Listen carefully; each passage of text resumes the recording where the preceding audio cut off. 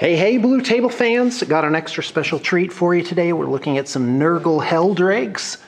And uh, these have been um, extensively Nurglified uh, with glue and, of course, uh, just plain old roughing them up. As you may notice, the wings have been inverted here and rounded off to uh, resemble bug wings. Uh, you've got uh, the trefoil mark of Nurgle on this one. This guy has kind of this humanoid head. It's got some Tyranid pieces uh, crustified on there.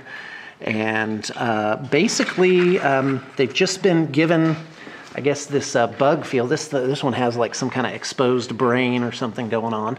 Let's take a look at the underside. So that white stuff you're seeing is actually super glue that's been uh, catalyzed, and that'll turn into this nice, gross, fleshy, pustulent, scabrous stuff on it. And in fact, you'll notice like these little pustules here.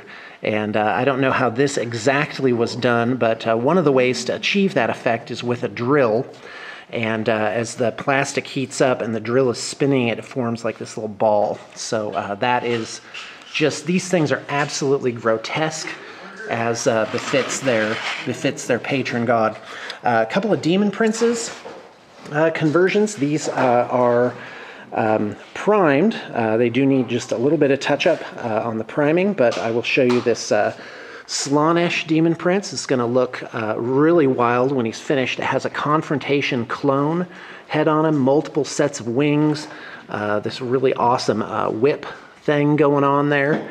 And let's take a look at a Tzeentch Prince. So the challenge here was to make uh, Demon Princes uh, themed, but not out of any existing kits. So uh, you've got the standard uh, Demon Prince kit uh, integrated there uh, with a um, parts from a Tomb King's Necrosphinx on there, and he has from a Crypt Stalker. he's got that giant tail. So four really coolly converted things.